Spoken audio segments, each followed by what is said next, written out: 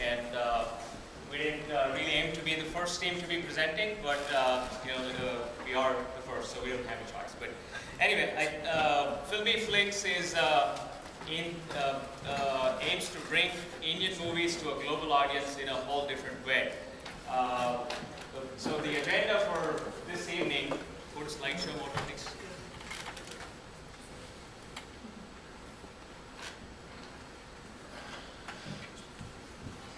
So we, uh, in, as a run-up to this weekend, we've done a lot of work, uh, and uh, so we hope to walk you through the business model, and also we've done some user validation as well. Uh, surveyed about uh, 230 users uh, in terms of uh, the usability of this platform or, or the app, if you will.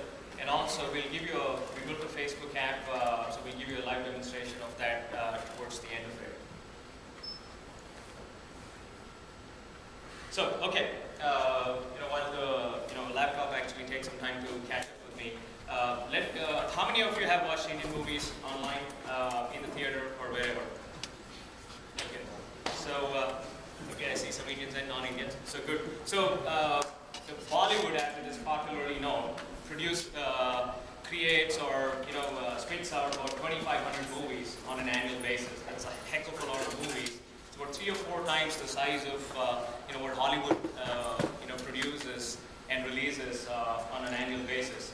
But for all the quantity that it produces and the global population that uh, of Indians that exist, unfortunately, it's completely fragmented. There isn't uh, there isn't a way to uh, monetize content. Most of the owners, the content ownership is extremely fragmented. So most of them don't look beyond theatrical releases to actually monetize their content, right?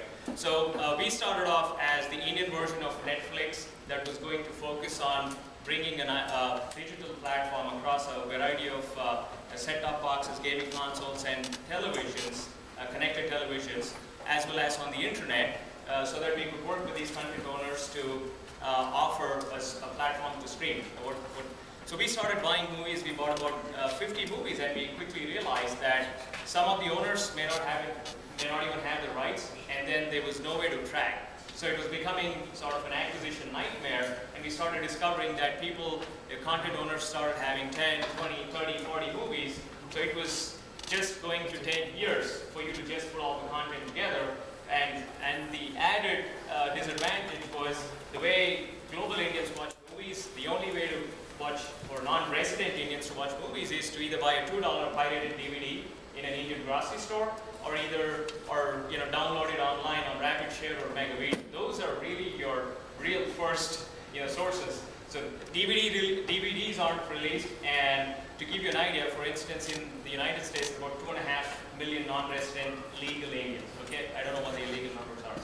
So out of them, uh, there are three separate metro areas: uh, DFW, New Jersey, and San Francisco. Uh, there are about 25 theaters in all, so none of them can really do justice to all the movies that are released.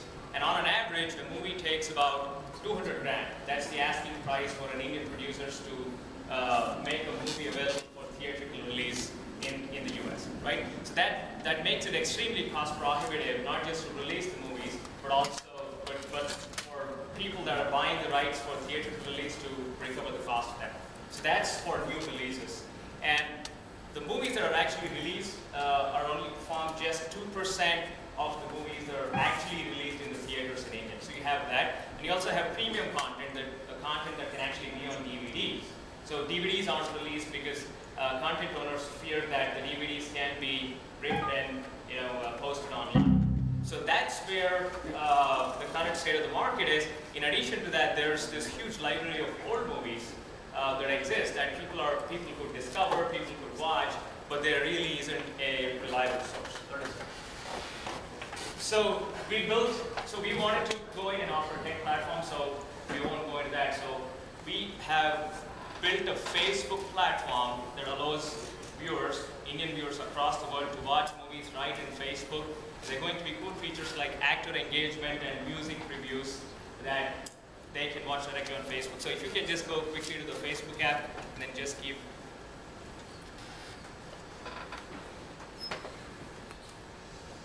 our laptop is a disaster.